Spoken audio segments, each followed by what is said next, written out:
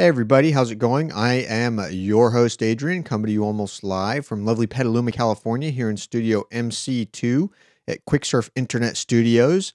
The Geekinator is a proud member of the Tech Podcast Network. If it's tech, it's here. Do feel free to head on over to techpodcast.com. Check out all the other technology related shows over there as well. I'd like to encourage everybody to visit us online over at quicksurf.com. Please do subscribe to the show if you have not already done so. Uh, you can also catch us over on YouTube, uh, Daily Motion, Blip.tv, and uh, Stitcher.com, uh, as well as subscribe uh, at our website over at quicksurf.com. You can uh, catch an Ogg Vorbis, uh, an MP3, or a video feed of the show and subscribe to it using your podcatcher of choice. Let's go ahead and get into the stories for uh, this episode. Some pretty cool stuff I found while uh, perusing the internet, if you will. Uh, over at TechCrunch, Nest, we all have heard of Nest, right? They make the little smart thermostat thing. They have acquired MyEnergy to boost their home energy management tools. Uh, Nest proved that energy monitoring can be tantalizing and it's about to get even better. The company just announced that it has acquired MyEnergy to further enhance its suite of monitoring tools. The deals of the term were not released. So originally, uh, it was called Earth Aid. Um, they launched an online dashboard in 2009 as one of its energy monitoring solutions. It's similar to Energy Savvy, Google's Power Meter, and Microsoft's Hohm. Uh, Earth Aid and now MyEnergy provides consumers with information on how much electricity, water, natural gas they use, and how much they spend on these utilities. You know, you you can't expect to appropriately manage if you if you don't know where you're at. So you know, monitoring does come into play here to a small degree. So pretty interesting. Uh, we'll see uh, how that comes about. From uh, coolestgadgets.com, Star Trek The Next Generation Enterprise D ship. That's right, Trekkies. Here's something for you.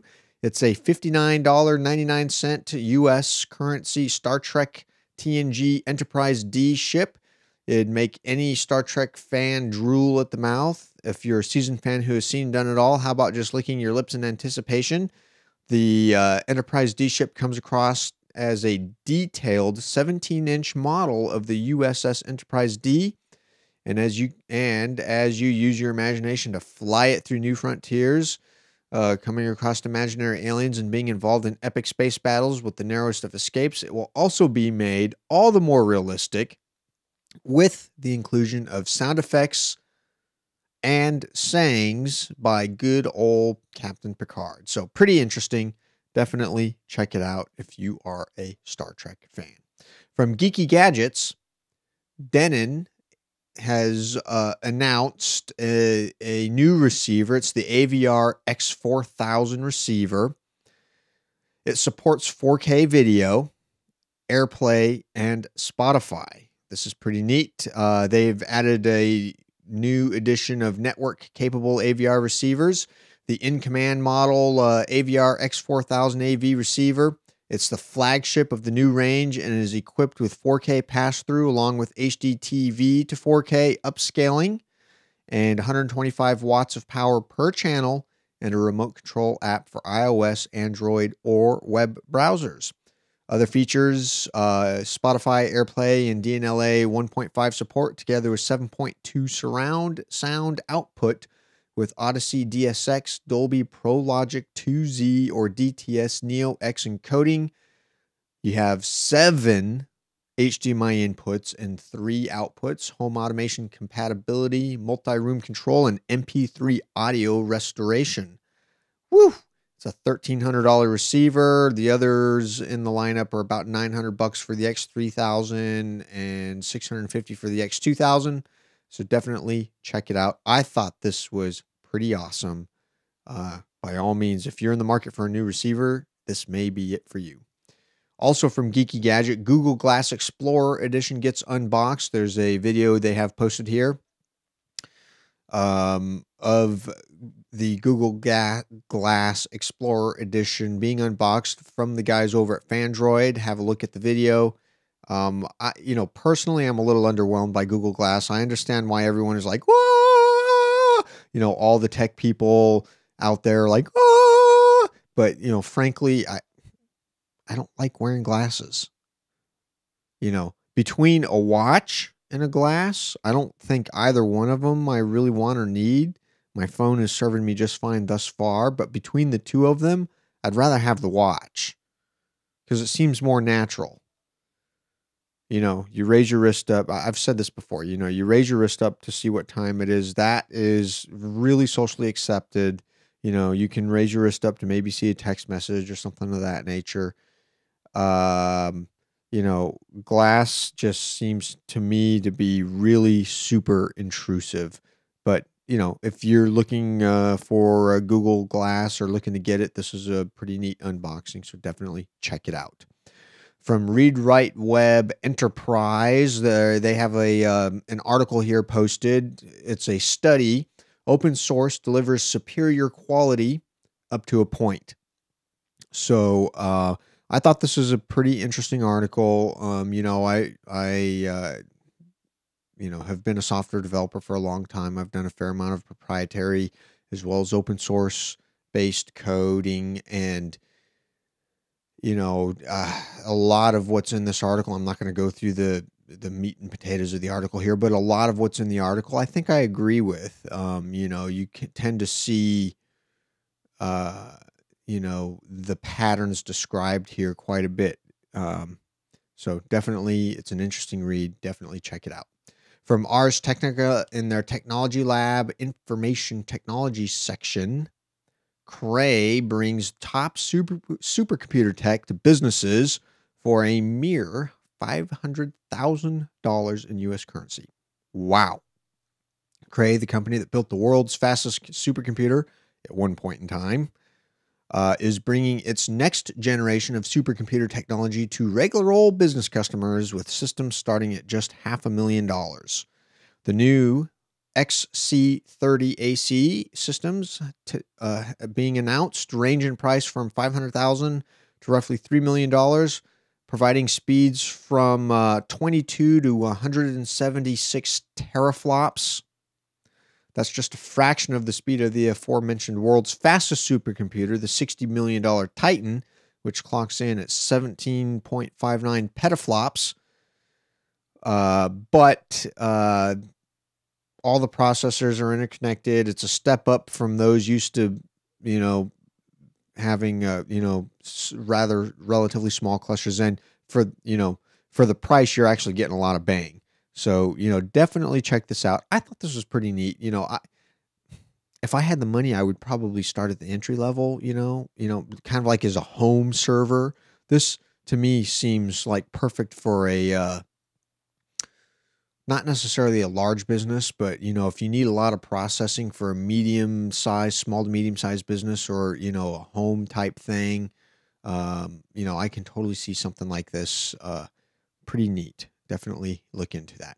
From Geeky Gadgets, Adobe Creative Cloud subscription service to kill off the Creative Suite. Adobe has announced you can no longer buy boxed versions of the Creative Suite. It's all Creative Cloud. Uh, I am a, a creative cloud user. This I have no problem with. Um, definitely, uh, you know, those that are used to the box suites may have some trouble adjusting because you do get software updates.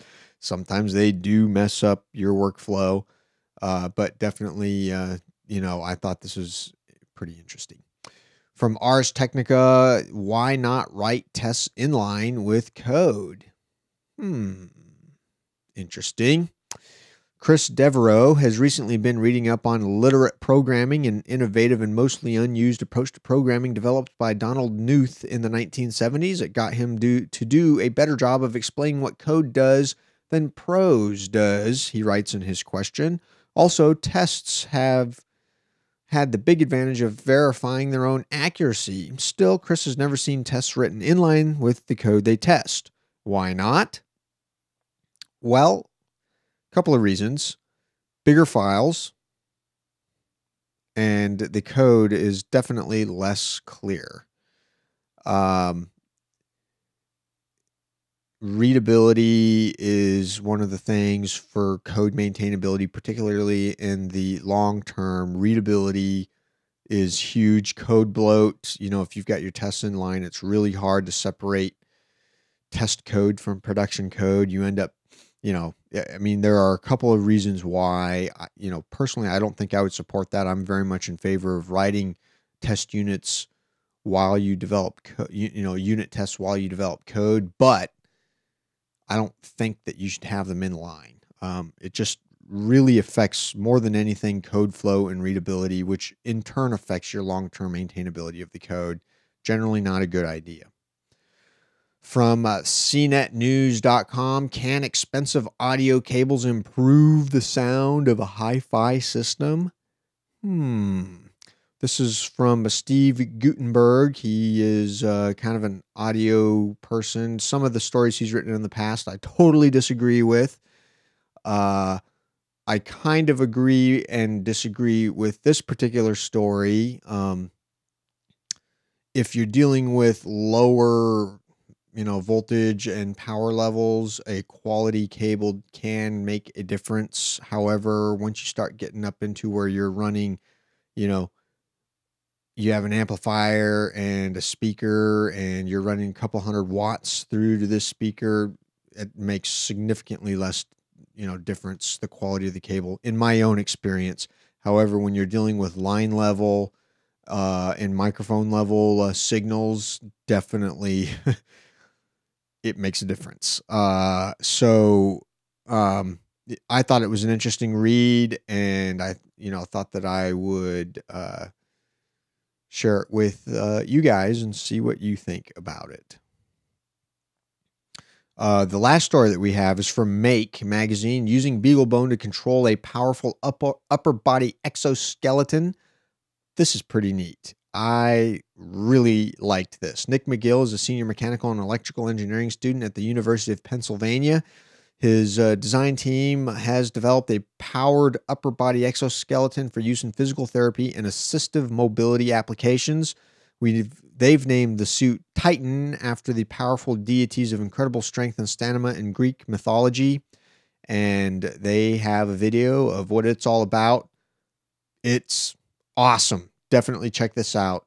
You know, I can totally see something like this morphing into uh, an Iron Man like suit. And by the way, I did see uh, Iron Man 3 over the weekend, Sunday afternoon. However, I, as I've stated before, I'm not adverse to uh, going to see it again at some point. If anybody in the uh, North Bay area wants to go see it, uh, shoot me an email, geekinator at quicksurf.com. I do kind of have a full schedule uh, this upcoming week and weekend, but, um, you know, if there's anybody who wants to see it, by all means, let me know.